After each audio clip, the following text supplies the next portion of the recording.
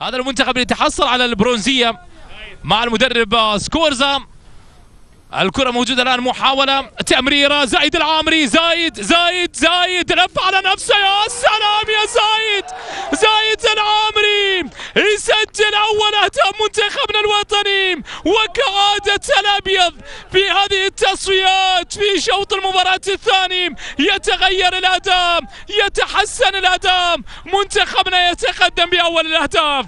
منتخبنا يتقدم بأول الأهداف عن طريق الهداف زايد العامري. صاحب الهاتريك في مرمى المنتخب اللبناني. يسجل الآن في هذه المباراة. وفي هذا اللقاء لف على نفسه سدد والكره عانقت الشباك هدف جميل يسجل زايد العامري. نجم منتخبنا الوطني ونادي الجزيرة. اللي يضع الأبيض في المقدمة. اليوم يرتدي اللون الأحمر. ومنتخبنا يتقدم على المنتخب السعودي الشقيق بهدف مقابل لا شيء زايد العامري وهدف جميل.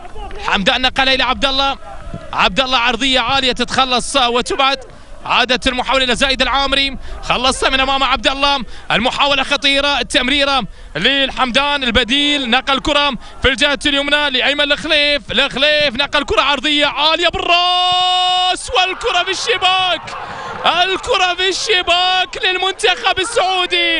الأخضر عاد إلى المباراة وسجل التعادل بعد سلسلة من المحاولات. هفوة كبيرة من دفاعات منتخبنا الوطني والأخضر يعيد الأمور إلى نقطة البداية.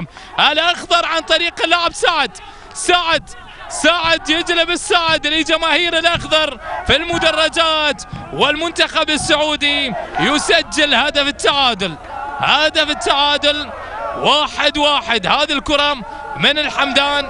نقل في الجهة اليمنى. الكرة العرضية العالية بالراس. وسعد سددها والكرة عانقت الشباك.